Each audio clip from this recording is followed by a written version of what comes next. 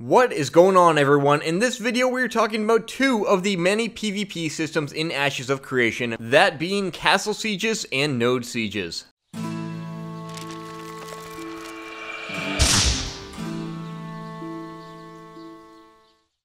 The team on Ashes of Creation has a vision, and that is to make player versus player combat meaningful again. And that doesn't just mean via instance battlegrounds. No, you won't find many of those in Ashes of Creation. Instead, you will find engaging, progression driven reasons to go out against another player or group of players in the world of Verra. But keep in mind, as the game is in early alpha, all of this info I'm about to tell you is subject to change. There are two different types of sieges in Ashes of Creation, node sieges and castle sieges. Castle sieges occur once a month and are a way for guilds to occupy territories within Verra.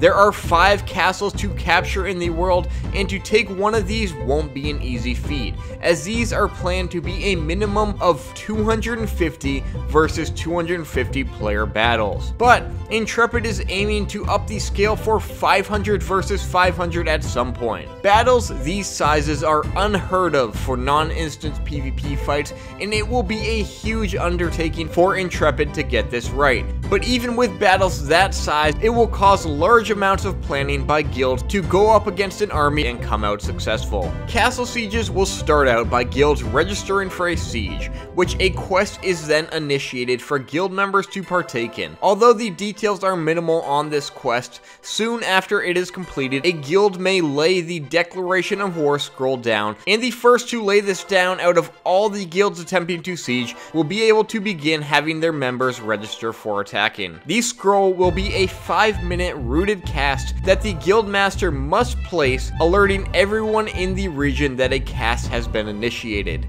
And this cast will be interrupted if the guild leader dies. And once a war is declared, the defender will have a week's time to prepare in ways such as approving those people who have applied to defend and hire mercenary NPCs along with setting up defensible positions. As the war begins, the attacking side will attempt to capture waypoints within the castle to diminish their respawn respawn timer and increase that of the defending side. Whereas the defending side would obviously defend these points along with being able to attack the siege headquarters of the attackers to increase the attackers respawn timers. The defending side will need to survive the siege for roughly 90 minutes, although this number could change before we reach launch, while the attacking side will need to reach the inner keep of the castle, and a guild leader will need to cast a 3 to 5 minute long spell to seal ownership of the castle and the casting time of this spell is being dependent on the amount of waypoints captured during the siege. Along with this, during the siege, both attacking and defending sides will be able to create or purchase various siege weapons to put on the battlefield. When the siege is over, Whoever is victorious gains control of the castle and the node attached to it. These nodes are all military nodes that can't be leveled up past stage 3, and the guild leaders whom were victorious will be referred to as kings or queens. The second type of siege being node sieges. These enable players to attack and destroy nodes, paving the way for new development in the world and unlocking different content as there is only so many nodes that can progress in each server, and you may lock or unlock content depending depending on which ones get developed. Sieging a node can be declared by any player who meets the prerequisites of the initiation. This is done by players receiving a certain item that is acquired through a quest. Once a player has that item, it must be brought to the node that's being sieged and activated, in which the declaration period begins and the region is alerted to what is coming. During this declaration period, any individual or guild can register to attack, whilst the node itself has a set number of days to prepare, which is based off the node's level, being 2 days for a village stage, 3 days for a town stage, 4 days for a city, and 5 days for a metropolis. If the node has not yet reached village stage, it cannot be destroyed.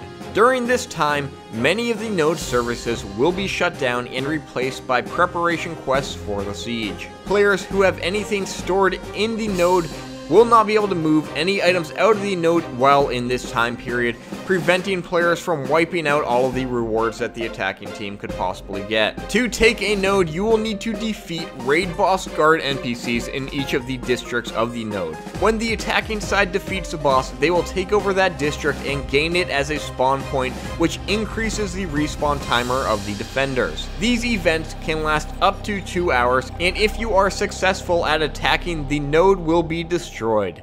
A portion of all materials and gatherables stored within the node become lootable, and the node will be reverted back to level 0, which is the wilderness stage, allowing for other nodes to further progress. If the node survives though, there will be a cooldown before it can be sieged again. 20 days for a village, 30 days for a town, 40 days for a city, and 50 days for a metropolis, and citizens will also need to obtain resources to rebuild any damage. Keep in mind, node sieges are meant to be very, very challenging.